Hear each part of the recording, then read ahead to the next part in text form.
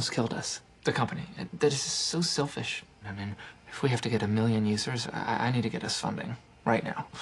How? We've already been turned down by every respectable VC in town. Who said anything about respectable?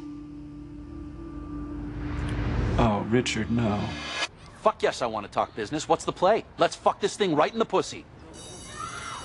Thanks for meeting me here. My fucking nanny got another DUI and lost her license, and now I'm stuck picking up my own kid like an asshole. So what's up?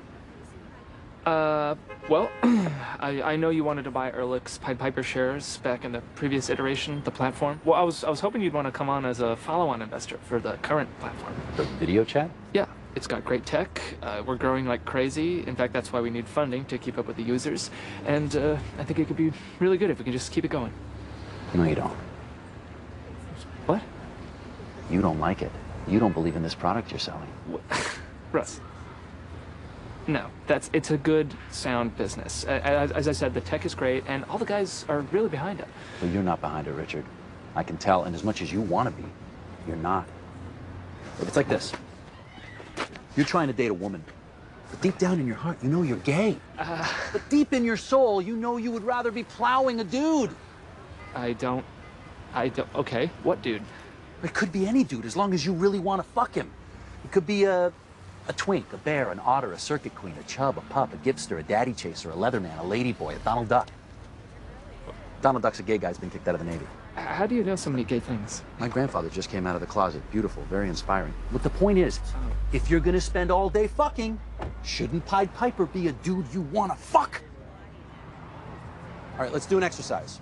You've got unlimited time and resources. You can build anything in the world you want with your compression, anything at all. What's it going to be? Three, two, one, go. Oh, Russ, I, I, I don't... Go, go, go. You said I have unlimited time. Now, now, now. A, a new internet. What? Why? Okay, well, I, I haven't really thought this through, so... Um, okay. I own a telescope. Of course you do. And uh, I brought it out one night to look at the full moon. Of course you did. And uh, I got to thinking, wow, we put a man on the moon using the computing power of a handheld calculator.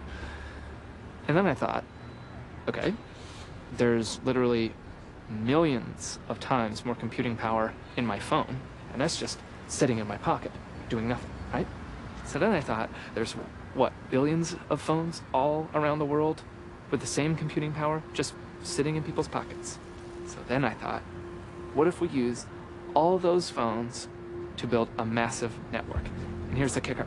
We use my compression algorithm to make everything small and efficient, to move things around. And if we could do it, we could build a completely decentralized version of our current internet with no firewalls, no tolls, no government regulation, no spying. Information would be totally free in every sense of the word. You want to build a new internet? Richard, I like it. That I would fund.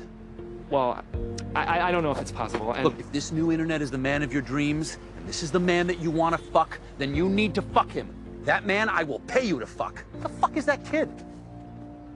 Wait a minute. Ah, shit. They kicked us out of this place. I'm at the wrong fucking school. Richard, you find that man, fuck him good. Careful, please. He's gonna peel out.